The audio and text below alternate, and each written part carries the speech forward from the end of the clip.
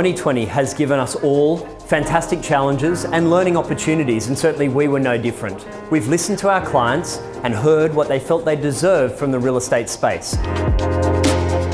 This gave us an opportunity to redesign our company and our path forward from the ground up, delivering on our promise to our clients for the very best premium real estate services. So now, after 15 years, we say goodbye to Raine and Horne and we say welcome to Di Jones Central Coast. Thank you.